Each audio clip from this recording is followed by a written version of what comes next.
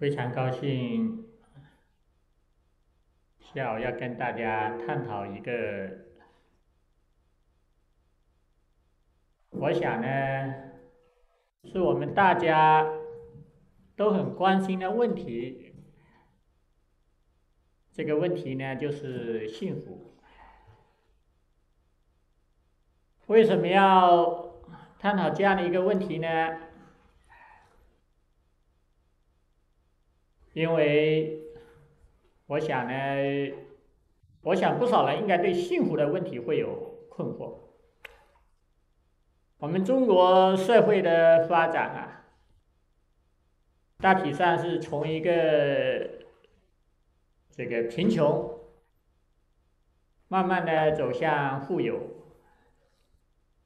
在在过去。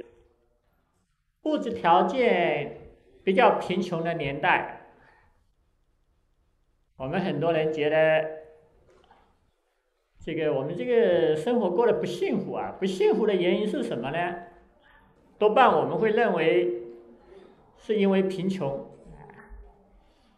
是因为我们不富有，所以我们在这个几十年中，我们在整个社会。整个社会呀，都在追求财富，整个社会呢都在追求经济发展。但是经过了这么这么多年啊，改革开放三三十多年啊，我们这个社会确实也已经富起来了，很多人也都富起来了。可是富起来了，我们是不是就过得很幸福了呢？其实也不一定，很多人还是过得不幸福、不快乐，甚至呢，有开始有很有了很多，甚至还有很多的心灵问题，心灵的困惑，所以。所以不少人就开始来重新重新来思考幸福啊，这个幸福到底是什么？究竟怎么样才能得到幸福呢？所以今天呢，我想呢，从佛法的角度啊，来和大家一起来探讨，就是就是就是怎么样才能才得到。得到幸福。那我们今天讲的这个题目呢，它是叫做这个心灵创造幸福。这个可能跟我们过去理解的应该是这个财富创造幸福 有点不一样。因为我们人其实它大体就是两个方面。一个是物质，还有一个是精神。那如果物质不能给我们带来幸福，那它的问题会是出在哪里呢？你们想一想，它的问题会是出在哪里？它的问题一定是出在精神上，出在心灵上。所以我们。来探讨我们的心灵、我们的认识和幸福的关系。我觉得这，我相信这个对大家来说应该很有意义。那关于这个问题啊，我今天大体上想从想从五个方面来和大家分享和交流。首先，第一个方面呢，就是如何的面对逆境，如何面对逆境。我们的人生啊，大体是由顺境和逆境组成的。如果我们生活在顺境中，比如说，身体健康，事业顺利，人际关系和谐，我们多半会觉得，啊，这个日子过得很美好啊，很幸福啊。可是，万一在生活中呢，如果出现了逆境，当然，这个逆境呢，这个啊，包括的内容也很多啊，比如说你的健康出问题了，哎，健康的问题，或者家庭的问题，啊，有的时候家庭，啊，你的伴侣对你不忠啊。或者是你的孩子不听话啊，或者是工作的问题、事业的问题，甚至像生死的问题、生死问题、生死问题，比如说亲人、你身边的人生病，甚至死亡。你的这个至亲的人啊，突然间面临着死亡，那很多时候我们的这个家庭啊，我们的幸福啊，一下子就会被打碎了。我们整个家庭啊，啊，我们的生活啊，它就会陷入到一片痛苦的状态中。当我们面对这样的一个逆境啊，我们会会难过，哎，会忧伤，会愤怒，甚至会焦虑，哎，还有呢，我们可能会会会怨天尤人，我们觉得这个老天爷简直太不公平了，为什么会这样子？啊，或者我们会。自怨自艾，就是每一个事件发生了之后啊，我们可能会这个引发一系列的负面情绪，然后呢，我们就会掉入到这样的一种情绪里边去，啊，掉入到这种情绪里边去。比如说，有的时候一个人亲人亲人去世啊，可能这个难过会延续到五年、十年，一想起这个事情还是难过，哎，就是就是长时间会被一种负面的情绪呀，哎，所包围，让你痛苦不已。当你陷入到，当你面对这个逆境之后啊，你的生活再也跟幸福就无缘了。本来你是过得很幸福的，可是仅仅因为这样的一个事件，它让它就会使这个幸福呢，就会离你而去，离你而去。这个在佛陀的教法里边啊，他告诉我们，我们如何能够做到。就是这个这个佛经里面有一个非常生动的例子，他说：“我们如何能够做到不受第二支毒箭？什么意思呢？也就是说，当我们被一支毒箭给射中了，被这个毒箭射中了之后，你应该怎么办呢？应该怎么办？”我们应该赶快让开、躲开，哎，如果你不躲开的话呢，可能接下来就会有第二支毒箭过来，继续射射中你，那你可能就要死定了。所以我们如何避免被第二支毒箭射中？这是一个，这是一个非常重要的问题。这个这个例子说明一个什么样的道理呢？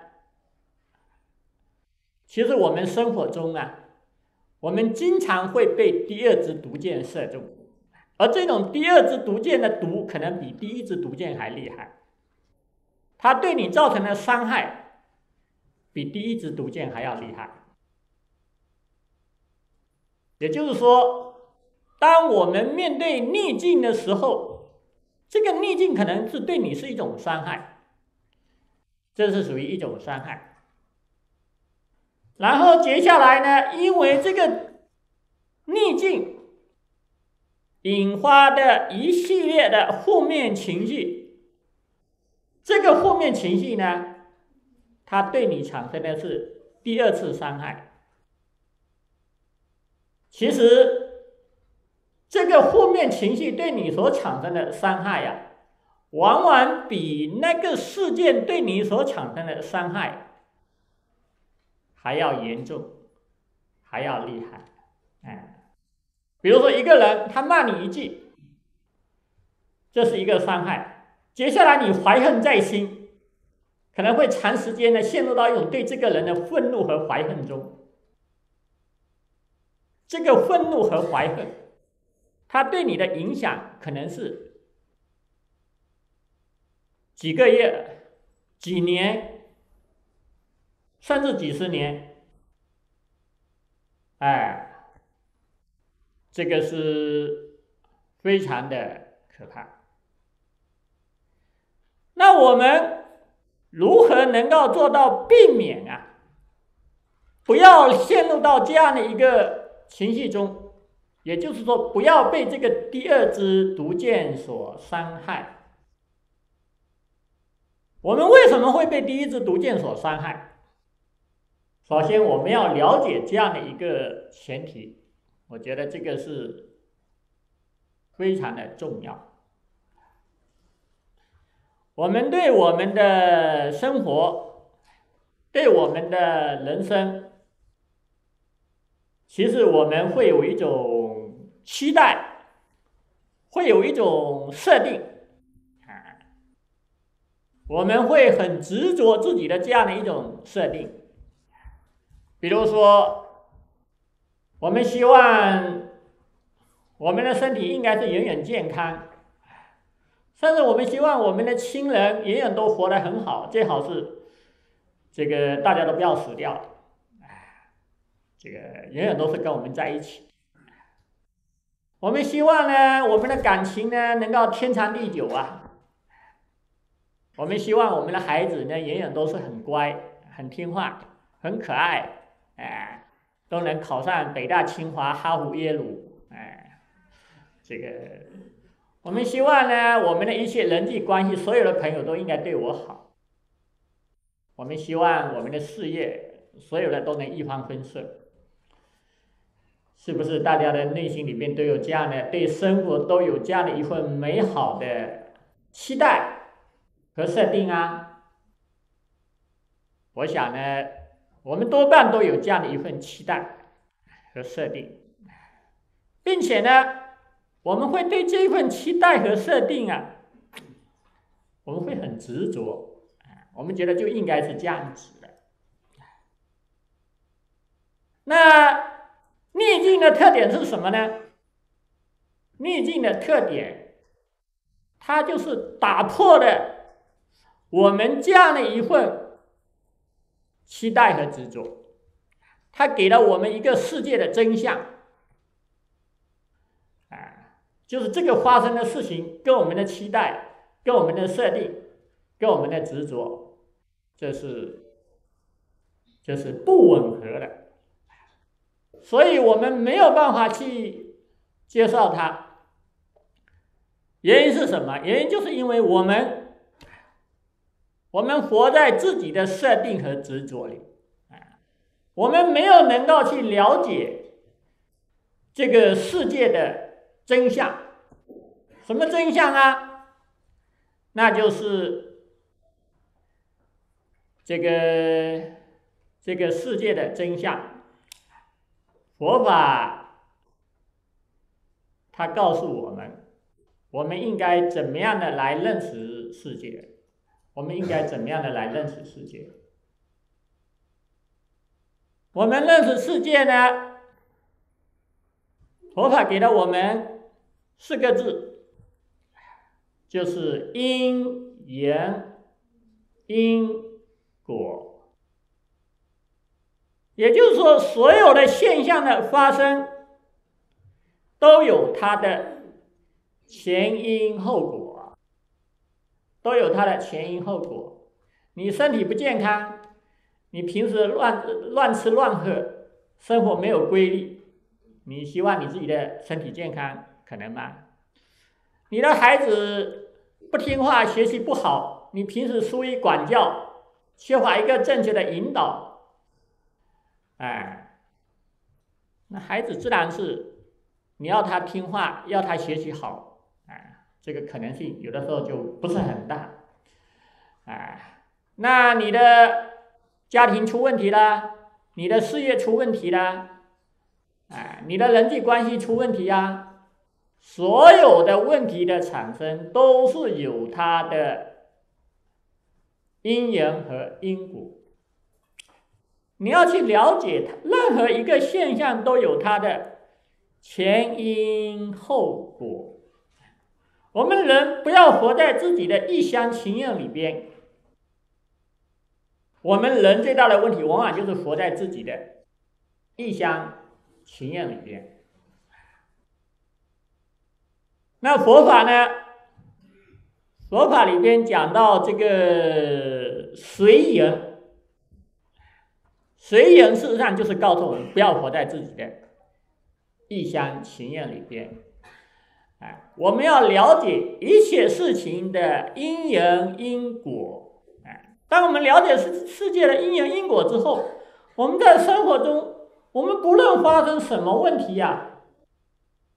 我们都能接受，因为这些事情的发生，它是正常的，是必然的，哎，所以我们了解了因缘因果之后，我们懂了我要去改变它，而不是说我难过，我痛苦，关键是我了解这个事情的因缘因果之后，我怎么样去改变它？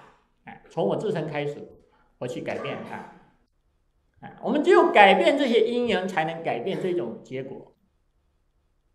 所以佛法里边告诉我们，就是要因善努力，果善随缘。我们要改变。所以任何逆境的产生，事实上它也是我们改变、改善自己，啊，是我们成长和进步的一次机会，是我们成长和进步。的一次机会。那另外一方面呢，佛法它告诉我们，这个世界是无常的，无常。什么叫无常啊？也就是这个世界的一切一切啊，都是无常变化的。哎，比如说这个宇宙有沉重坏空。人有生老病死，哎，人的关系呢，也是有，也是有和有善，就是说，所有所有的一切都是在变化之中。当然，这个变化也不是没有规律可行。我们创造好的条件，这个变化可能就会越变越好。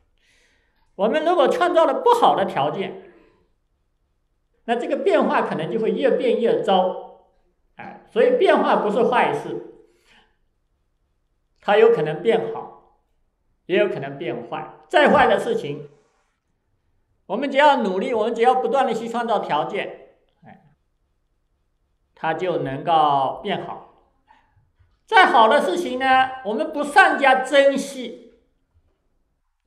最后呢，它也会变坏，哎，所以生死，哎，很多问题，我们世界上的很多问题，一切的一切都会在不断的变化中，它并不是像我们想象的，我们所希望的那样子，哎，关键还要看它的因缘，所以我们了解因缘因果，我们了解无常。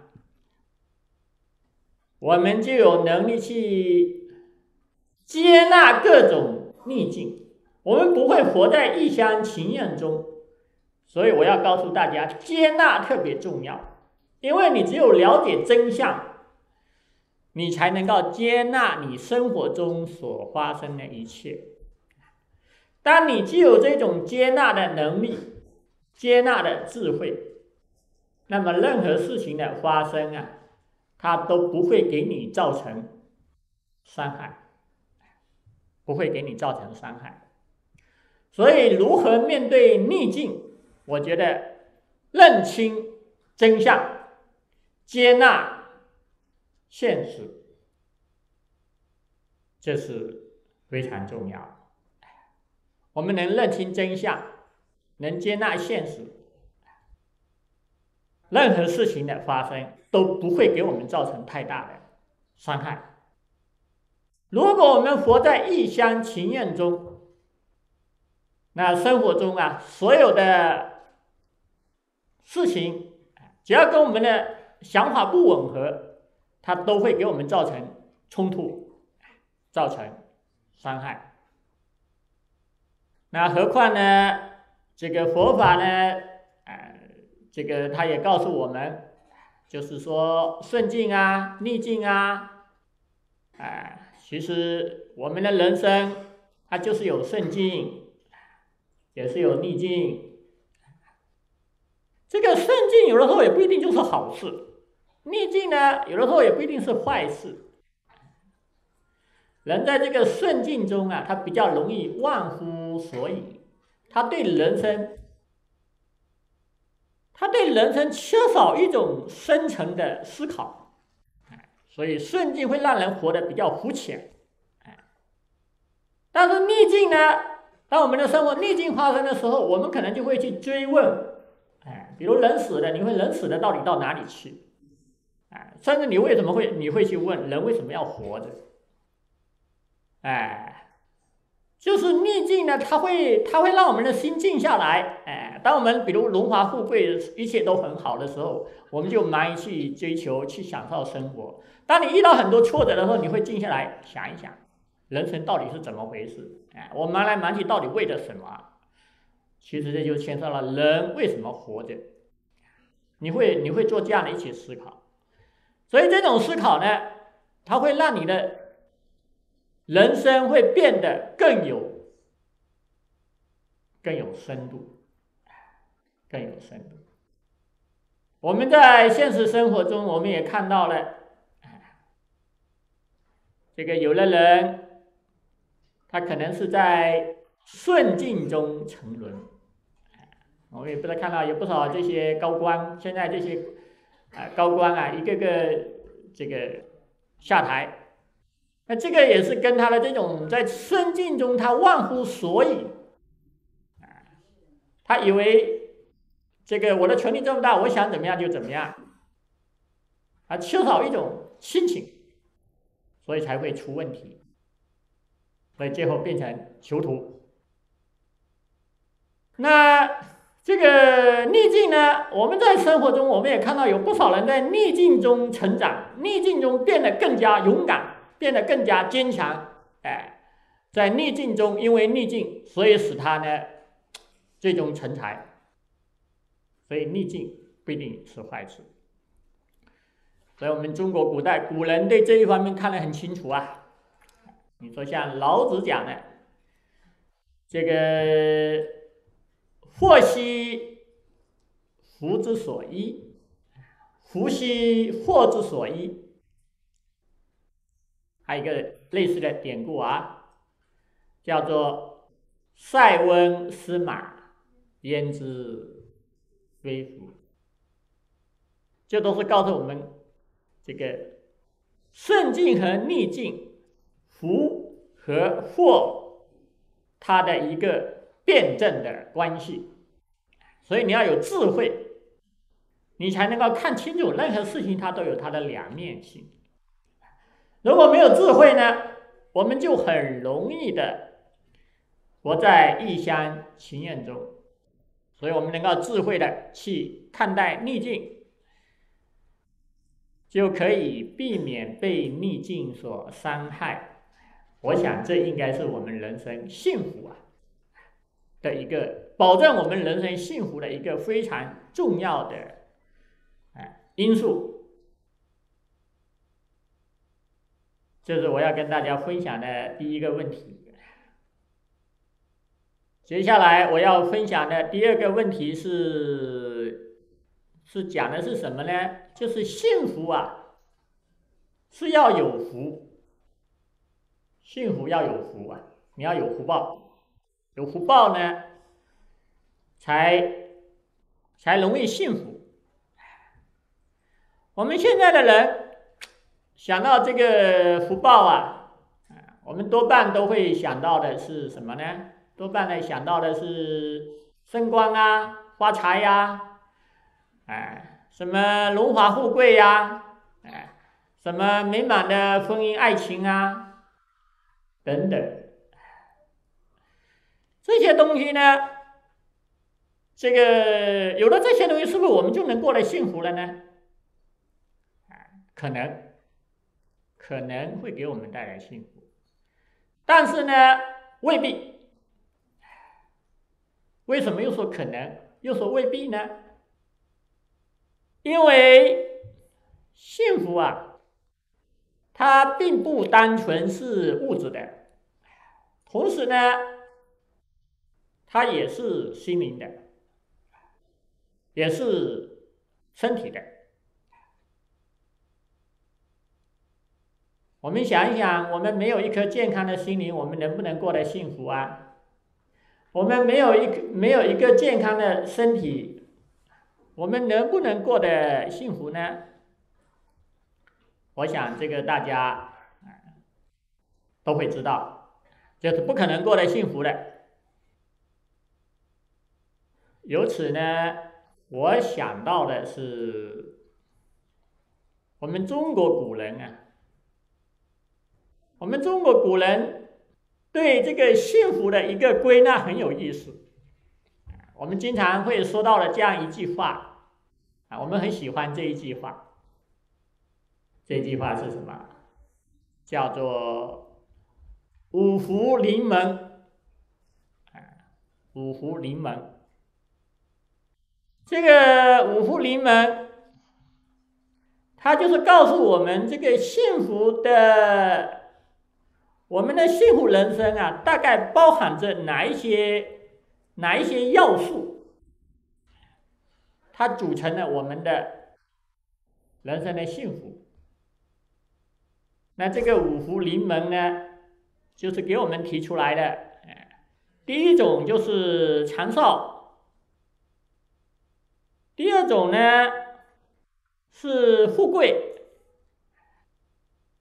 第三种呢。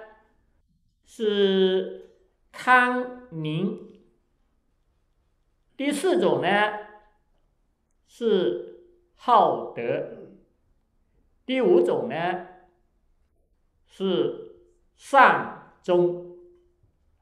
给大家解释一下哈。当然，首先前面的两种我们大家都比较熟悉，哎，长寿，活了长寿嘛，哎，这个。第二种呢，富贵，富贵就是一方面是富有，哎，那还有除了富有之外，可能还有这个，呃，就是升官发财了，哎，贵，我们过去古人讲的这个贵呢，很多时候跟这个身份地位会有一定的关系。这两种从幸福来说，它是一种比较外在的，外在的因素。那这个外在的因素呢？我们大家可能多少啊，在某些方面都有能够有所感受。有的人可能是富有啊，有的人可能是有地位啊，有的人，哎，但是具备这两种条件，是不是就能过得幸福呢？其实我要告诉大家，这些外在的条件啊，它不是幸福的最根本的因素。它是幸福的辅助条件、辅助因素，不是根本因素。根本因素第三种很重要。第三种，这个第三种因素叫做康宁，康身体健康，宁内心安宁。你们想这两种是不是很重要？这个我们要幸福啊，我们需要有一个健康的身体。我们我们现在这个社会呢，在过去的这个长时间，哎，几十年啊，因为我们这个社会有点太唯物了，所以我们大家都会拼命的想赚钱，不少人赚钱，结果把身体给搞坏了，甚至呢，这个这个不仅仅把健康搞坏了。甚至把命也搞没了，这种现象也不少。哎，这个赚了很多钱，事业做了很大，但是呢，年纪轻轻的就得了什么不治之症，然后很快就去世了。哎，就呃，要不就是没有，要不就是没有这个能力。如果没有健康，也就是没有能力来享受财富。要不呢，就是没有命来享受财富。你虽然拥有很多很多的财富，可是你没命，这个财富你是没法享受的。要不呢，如果你没有健康，没有健康，吃也吃不好，睡也睡不着，有不少人。所以我经常在讲，我说这个现在很多人休息不好啊，休息不好啊，这个休息不好就会影响到啊身体的健康，所以。这个没有一个健康的身体，我们拥有财富我也不能享受。所以这个养生，从养生到养心，我觉得非常的重要。我们曾经接受这个厦门厦门晚报的一个采访，我也提出这样一个问题，我说这个身心健康是人生的第一财富。身心健康是人生的第一财富，修身养性是人生最好的投资。我想这个话呢，可能在以前说，很多人可能理解不了，但我想在今天来说这这样的一话，我想很多人他是可以理解的，因为财富毕竟是。身外之物，毕竟是身外之物，生不带来，死不带去。即便你活着的时候，可是你没有一个健康的身心，啊，那财富对你来说其实是没有意义的，是没有意义的。所以，从身体健康来说，啊，我们要我们要养生，啊，如何让自己拥有一个健康的身体？啊我觉得这个应该是一个幸福的一个基础。那另外呢，还有就是内心的安宁，内心安宁。我们的内心如何才能安宁呢？要这个内心安宁啊，不容易啊。这个。我们内心为什么不安宁？原因就是因为我们有烦恼，有负面的情绪。这个烦恼这个概念是来自于佛教的，是属于佛教的术语。佛教对中国的影响很大。我们说了很多话，什么世界呀，什么很多很多话，其实都是属于佛教的术语。这个烦恼这个两个字，它到底是什么意思呢？这个烦就是有老的意思，恼就是有乱的意思，烦恼就是扰乱你的内心的安宁。你的内心本来很安宁、很自在、很开心。但是，如果你一旦有烦恼了，你就会变得不自在的、不安宁的、不开心的。当然，我们一般的人也可能对这个问题感受还不是很明显。有不少人现在中国社会最大的问题是人的心理问题，是人的心态问题。哎，像忧郁症啊，各种心理疾病啊，在中国社会呢，其实占相当的比例。就是相当多的人心理有心理疾病。那当你有了心理疾病之后啊，你可能才会意识到，这个心灵的健康对一个人来说是多么的可贵。哎，我们大家想一想看，在这个现实生活中，我们什么时候最容易开心啊？我们什么时候最容易开心？我要告诉大家，就是没有烦恼的时候。你们想一想看，是不是啊？哎，这个你的内内心里边没有没有压力，没有焦虑，没有心事，哎，没有这些负面情绪，没有烦恼，是不是这个时候是我们最容易开心的时候？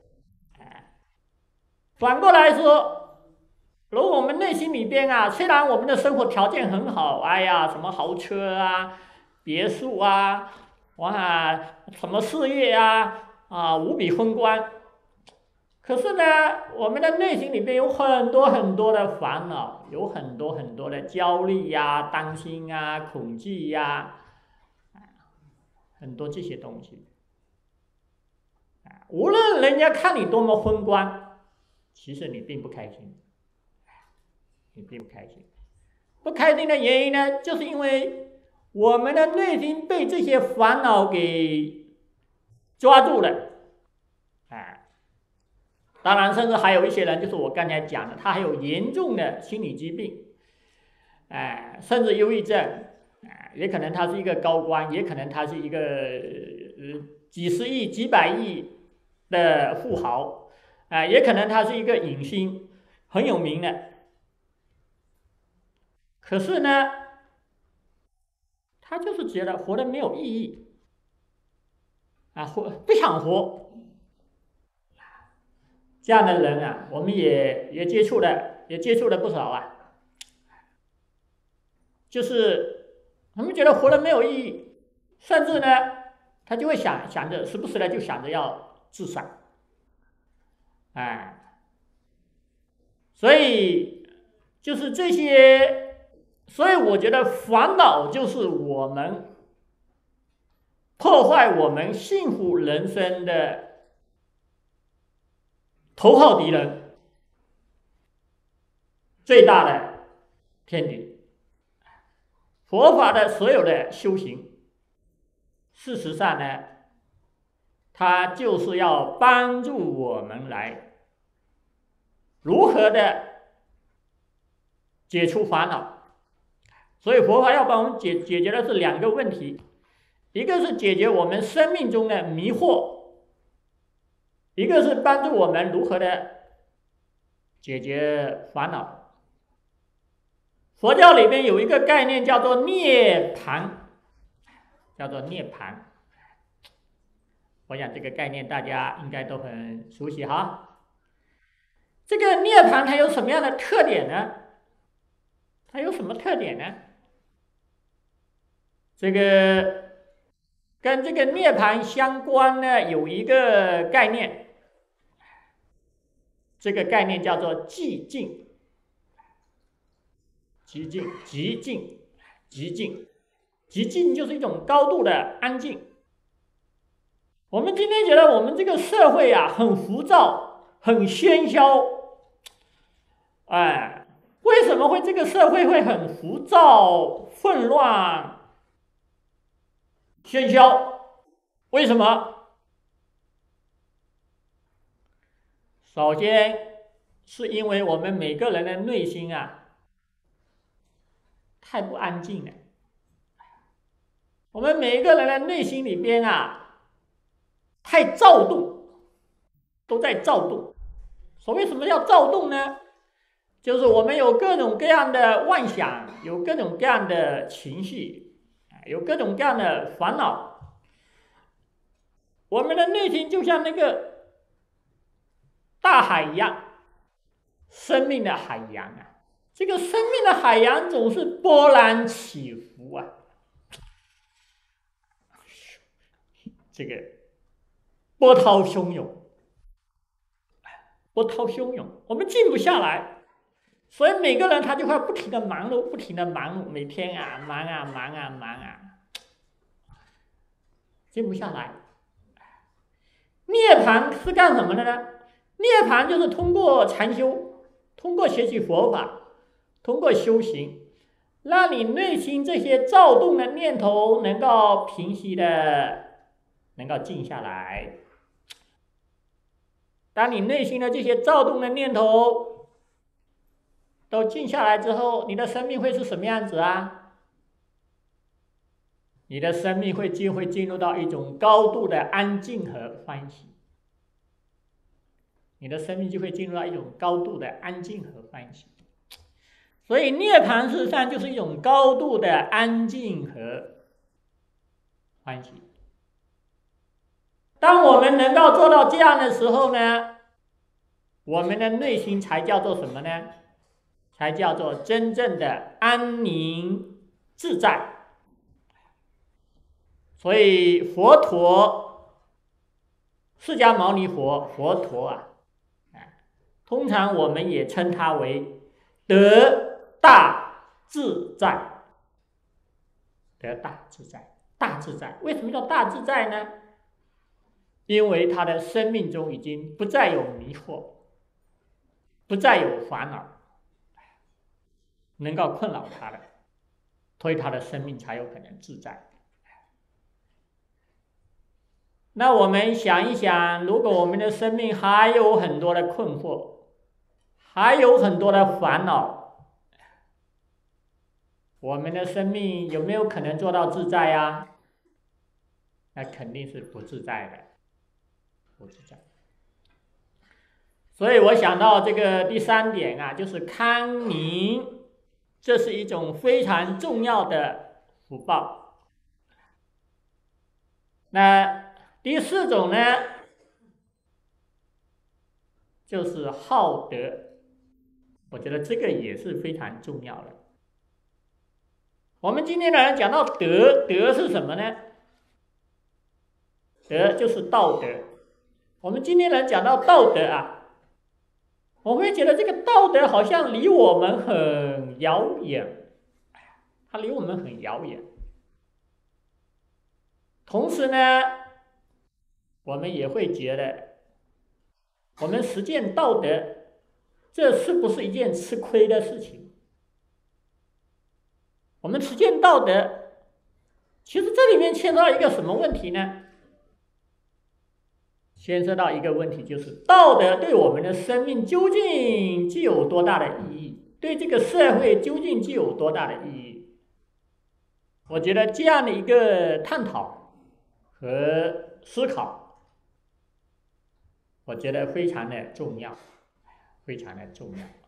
我们很多时候觉得道德实实践道德是一种吃亏呀，原因是因为我们不知道这个道德对我们的跟我们的生命到底有多大的关系。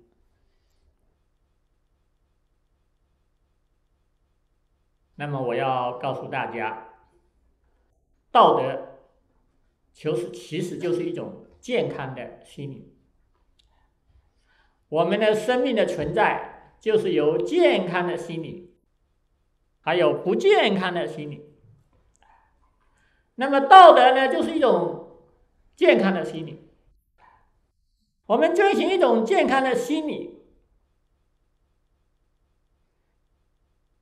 健康的心理对一个人有多重要啊？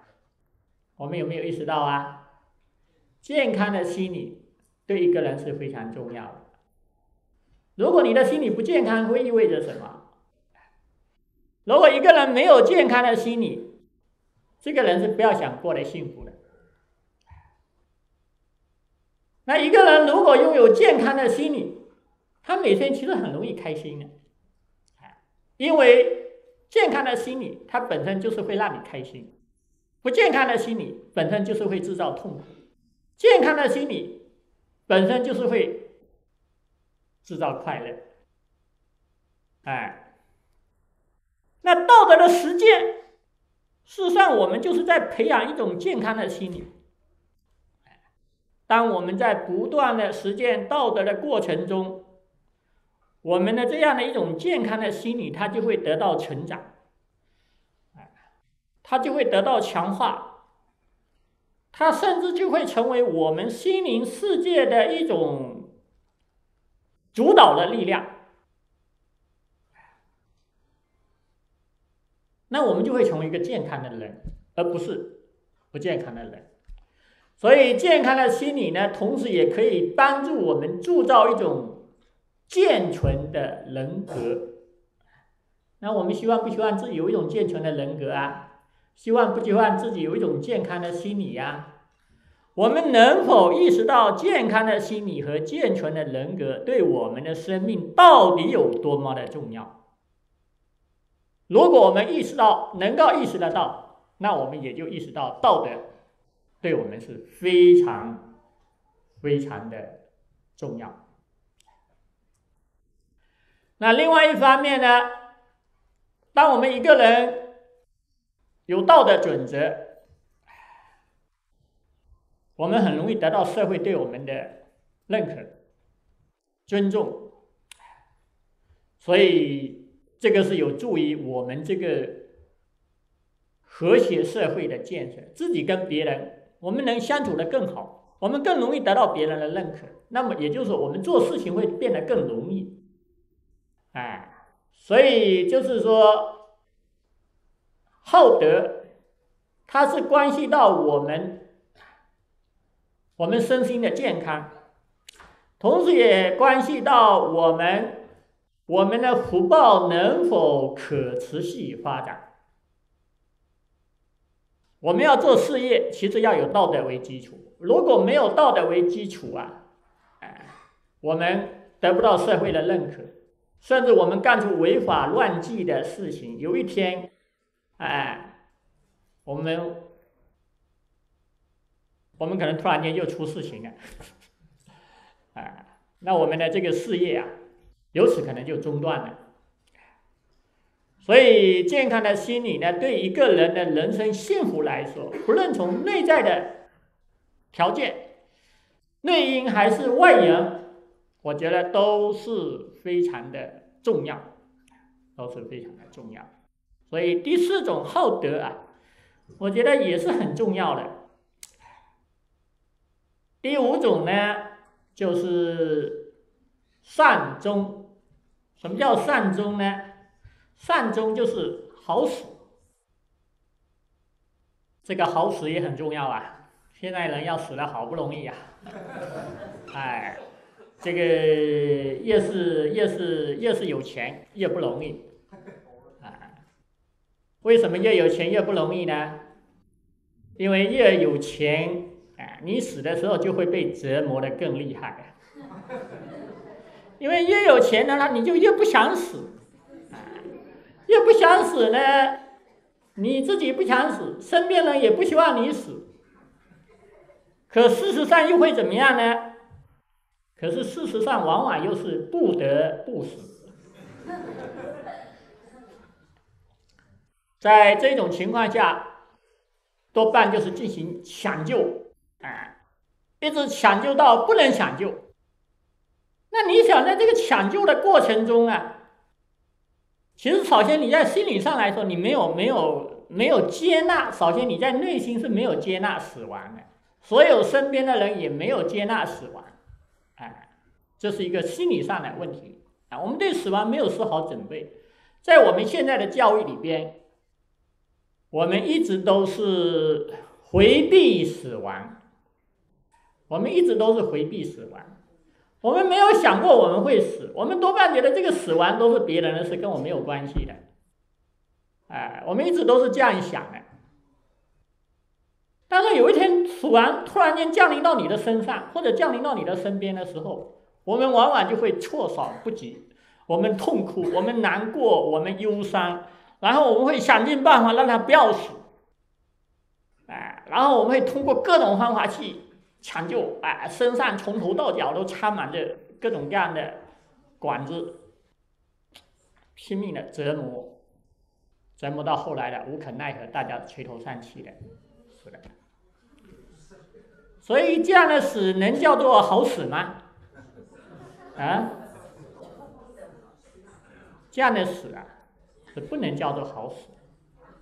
所以真正的死亡，这个是一个很大的功课啊。我们现在中国的社会，我觉得面临着两个问题。一个问题呢，老年人的精神生活和临终关怀。我们年轻的时候在社会上打拼，哎，事业就是一切，金钱就是一切。可是到了年龄年到了一定年龄之后退休了，我们的精神生活是什么？我们的精神追求是什么？我们有的只是物质的生活，物质的追求。可是到了一定年龄，我们的身体的机能已经衰退了，我们已经不能享受物质生活，我们也没有精力去追求物质的时候，那我们怎么样？我们怎么过日子呢？很多人一到退休了，一下子就老了，每天不知道，甚至就变成是一种等死的，这是非常的可怕。所以我们要有信仰，我们要有精神追求，我们要有精神生活，哎，那你老年你才能够每天你的日日子才有可能过得很充实。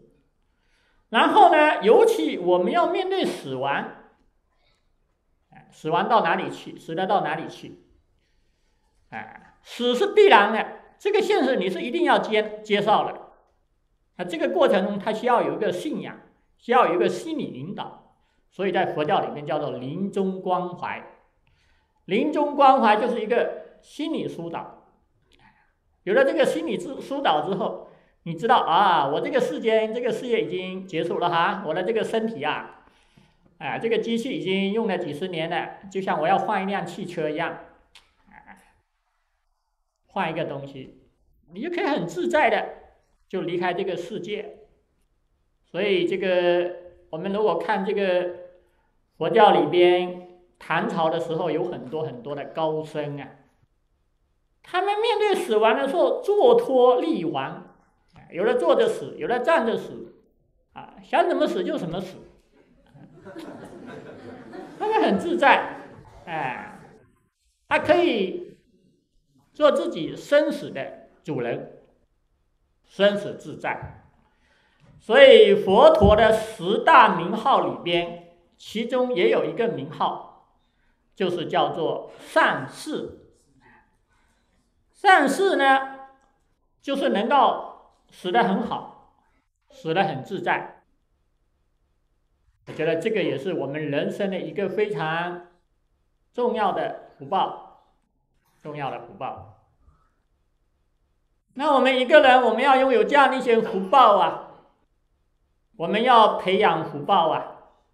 这个福报，佛教里面叫做要播种福田，啊，不是说你有能力你就一定有福报了，福报也有它的前因后果，啊，要播种福田。啊，佛教里面讲到有三种福田，这个三种福田呢，它跟我们的三种三种心理有关系。首先，第一种呢，就是。感恩的心理，你对你的身边的啊父母、六亲眷属啊朋友，以及所有有恩于你的人，包括我们的整个社会、我们的生活，我们离不开这个整个社会啊，离不开很多人对我们的帮助和支持，所以我们要心怀感恩。你能够用感恩心去对待社会的时候。哎，其实你看到每个人都会很欢喜，哎，因为感恩心它是非常的正向。当你能够拥有感恩心的时候，我们就能从这个感恩心中源源不断的产生福报。哎，所以感恩心它会成为我们产生福报的源泉。我们相反，如果一个人你带着仇恨的心情面对社会，那这个仇恨心会让你自己很痛苦。但是如果你是感恩心，你看到每一个人，你都会很欢喜的，哎，因为你觉得所有的人都是对你啊，都是有恩于你，所以你会用很欢喜的心去面对，哎，每一个人。所以我觉得感恩心能够产让我们产生福报，所以我们要培养感恩心，啊，从我们身边的人，父母啊、兄弟呀、姐妹呀、同事啊，所有的人，我们都要有份感恩的心去面对。那么这个感恩心可以让我们产生福报。第二种呢，就是恭敬心。恭敬心就是说，我们对这些三宝啊，啊，对这些宗教场所啊，对这些有德行的人啊，我们对他心生恭敬、尊敬的心。当我们有这份尊敬的心的时候，哎，你也能够产生福报。在从这个尊敬心中，你能够源源不断的产生福报。这个恭敬心对我们一个人，他就是很有好处的。我们现在这个社会呀。我们这个人的心为什么会很乱？为什么会很乱呢？因为我们现在的人，我们的内心啊，他就是缺少敬畏之心，没有敬畏之心，没有敬畏之心啊，所以你就会肆无忌惮的。可是你们想过没有？我们当我们到寺庙，我们看到佛菩萨。哎，我们看到一个我们非常有道德的、我们很尊重、尊敬的人的时候，你的心会非常清净。你会不会有这样的一种感受？为什么呢？我觉得这个是有两个方面的原因。首先，一方面呢，那些有德的人，或者我们看到这些宗教的场所、佛菩萨的形象，他会有一个气场。这个气场呢，它是具有强大的加持力。当我们进入到这样的一个气场里面的时候，这种加持力会让你的心会静下来，会有这样的一个作用。我觉得这个是第一个方面。那第二个方面呢，就是当你的内心有一份虔诚心和恭敬心的时候，你的心当下会被你自己的虔诚心和恭恭敬心啊净化的。你的虔诚心、恭敬心一下子会让你的心变得很清净，哎，我想很多人应该也会有这样的体验。当我们看到一个很尊重的人的时候，我们这个时候心很、很、很清净。所以这样的一种清净心、恭敬心心中，它能够产生福报，会让我们产生源源不断的福报。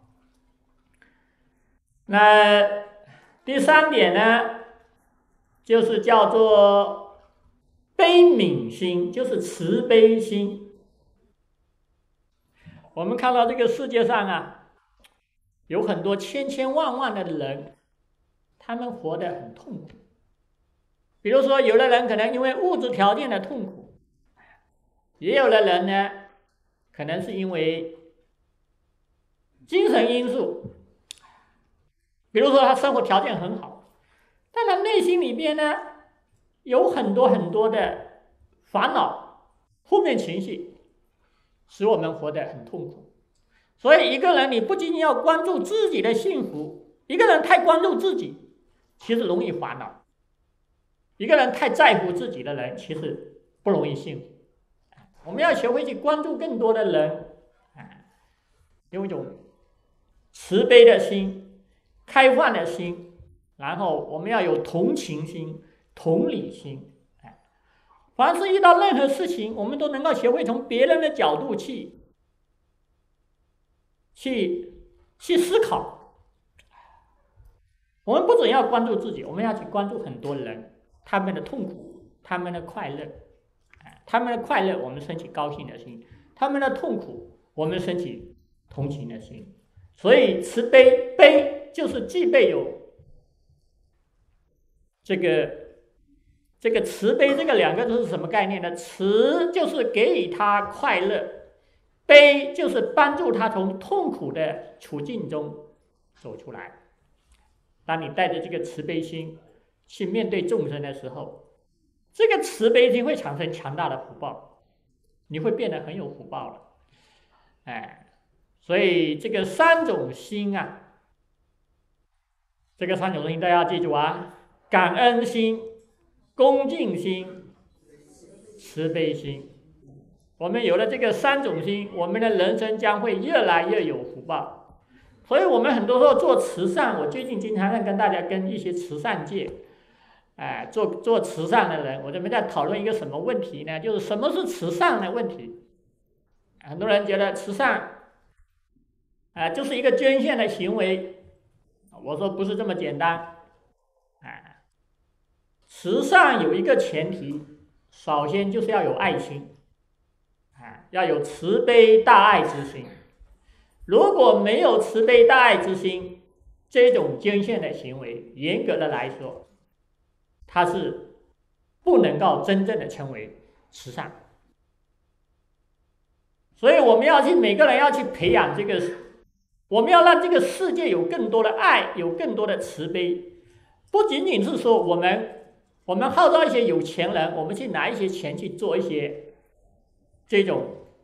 这个慈善的行为，我觉得更重要的是要培养每个人的这样的一种爱心，在从这种爱心呢，从小到大，从生活中的小事，到当然你有经济有很好的经济条件，你可以去帮助很多的人，但是你没有经济条件，你是不是就不能做慈善了呢？其实不是的，你要有爱心，你可以不做，你没有条件。做这些很大的慈善的捐献人的行为，但是呢，你要有爱心，你有爱心的话，你就会你就会尽自己的所能，一点一滴的去帮助社会，去利益他人。当你能够这样做的时候，你现在经济条件不好，以后你的福报就会来了。所以福报呢，就是从慈悲，慈悲要从慈悲心中产生。那这个是我刚要跟大家讲的第二个问题。